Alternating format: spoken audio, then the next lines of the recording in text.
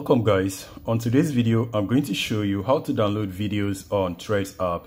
So if you see any video you like on your Threads app and you decide to download it, this is actually what you need to do. So go over to the Threads application, open that up and then uh, just scroll to any video you like. I have seen a video, but I do not want to use that because I already have that video on my device. So let's assume this particular video. If you want to download this video, this is actually what you need to do. You notice on this bottom area right here, right there, that is actually what you need to click on. So when you click on that, you'll be able to download that video. So click on that and then go ahead and copy the link. Now go ahead and come over to your browser. I'm going to make use of a brave browser. You can use just about any browser you want but i prefer brave browser. The reason is because you remove ads on this type of website. So i'm going to go ahead and search for threads downloader.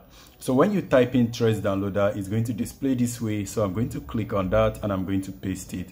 And I'm going to say allow until I leave the website. So I'm going to go ahead and click on this download icon right there and it's going to display some information. I'm just going to download the MP4 but if you want you can download this version of MP4. I actually need the HD version so I'm going to click on that and I'm going to close this and you can notice the download has already started and it's actually a 2 megabyte um, video. So once the video finishes downloading I can open it. So wait for that it's almost complete and now it's complete so um, let me go ahead and close this and then drag it out again. I enabled uh, the do not disturb so it's not displaying. So this is actually the video. So once i click on it this is the exact video that i saw on threads. And now um just so that uh, let me go ahead and stop the video playing.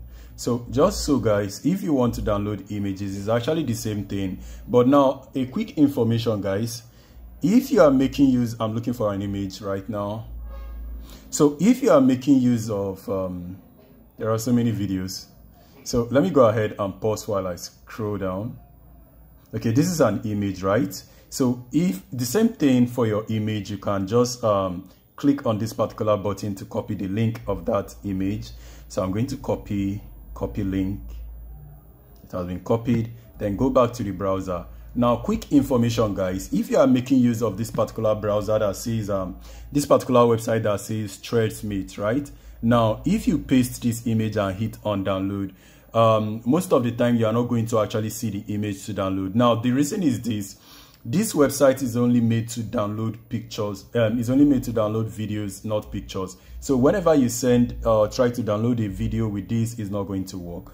So all you need to do is to come back and then add a little um, something right here. So i'm going to say how to download photos all right? Um, threads photo downloader and then it brings this one threads photo downloader. All you need to do is to click on it paste the link and do the same thing until I close the website, allow, and then hit on download.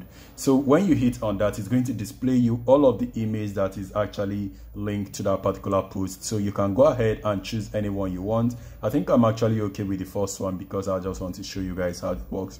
So um, I just clicked on it and it has been downloaded and this is the image right there. So let's go over to our gallery so that you will see the images and the video we have downloaded just now.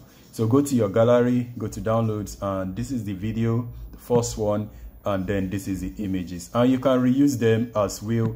But guys, make sure you actually give credit to the original image um, owner or video so that it's going to make it um, more uh, professional. I really thank you guys for watching this video. This video is um, only for educational purpose. I do not mean any harm to anybody that have caused any harm. So thank you guys for watching the video. I hope it's helpful.